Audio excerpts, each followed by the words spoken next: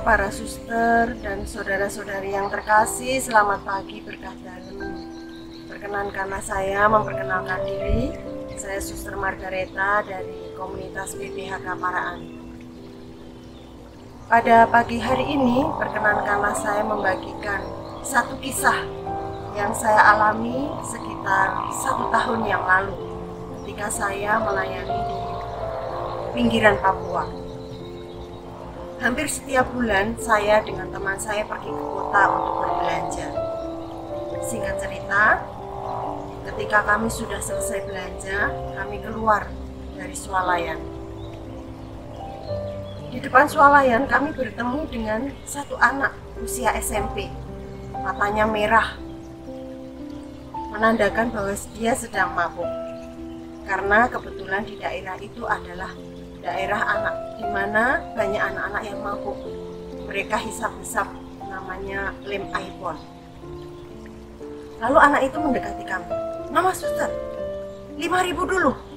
Saya belum makan ini. Saya gemetaran. Lalu teman saya yang sudah biasa di situ menjawab, tidak, tidak. Kau pemalas. 5000 dulu. Tidak, tidak ada uang. Teman saya tetap bersikeras bahwa dia tidak akan Lalu, apa yang terjadi? Anak itu menjepit roda depan motor kami dan menghalangi kami sehingga kami tidak bisa pergi. 5000 dulu. Teman saya tetap ber bersikeras. Tidak. Kalau kau tidak mengizinkan kami pergi, saya teriak supaya kau ditangkap polisi.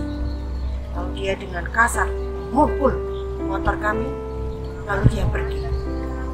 Saya yang sudah bergemetaran saya naik, saya membonceng teman saya dan pergi. Sebelum kami menjauh, anak itu teriak, percuma kowe pakai kerudung tapi tidak cinta kasih. Saya kaget. Oh, anak itu mabok tapi tahu kata cinta kasih. Lalu di dalam perjalanan itu kami tertawa membicarakan anak itu.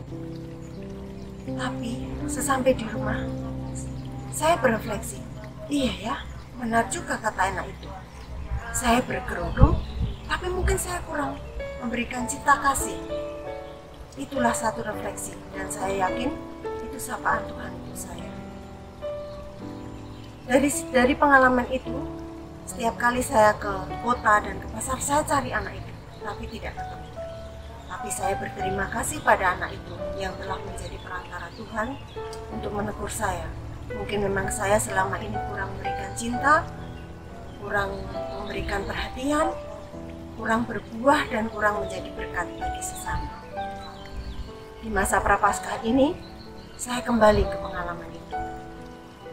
Masa prapaskah, saya gunakan kesempatan untuk melihat diri, agar saya pun bisa mendengarkan sapaan Tuhan lewat sesama, lewat alam ciptaan, dan lewat semua yang ada di sekitar saya.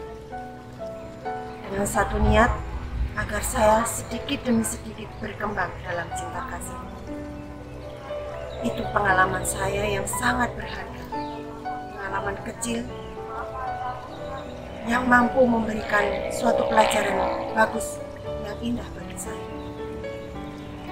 Mari Bapak Ibu, kita juga melatih kepekaan hati agar kita mampu mendengar sapaan Tuhan lewat sekitaran kita. Selamat pagi, berkah dalam.